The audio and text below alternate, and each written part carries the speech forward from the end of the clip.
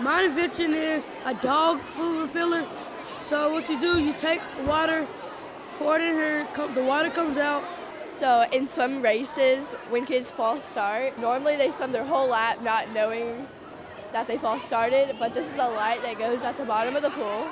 It's a waterproof LED. Is it supposed to go up your leg and get all the hair off and it saves you um, more time. My invention is a baby disposable coverall. A portable cap so you can put on any cup and when it spills, no water comes out. We're at Crosby Middle School today, and this is the Invention Convention. This is a hydraulic juice compressor, and then making all kinds of ideas and thinking and trying new things and all that. They are demonstrating their prototypes.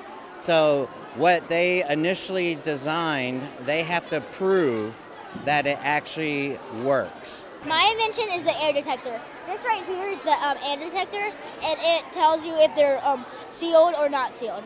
I hurt my back pretty badly, so I decided to make something that um, it's a two foot long stick, and you don't have to bend down to get food. So you can go like this. You barely have to use your back.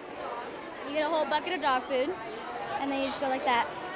This is the hydraulic robotic arm, and the reason I wanted to create this is that some people can have a problem reaching for stuff over halfway. How it works is these hydraulic cylinders use hydraulic pressure to extend and contract in three sort three axes. Um, up and down is Z, in and out is X, and side to side is Y. The toys have been officially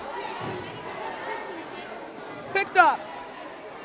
I'm blown away because a lot of this, all the building takes place at home. So we talk about everything in the classroom and everything's on paper. Then you start seeing all the creations and it, it's, it just gives me chills. It's just amazing to see where their ideas take them.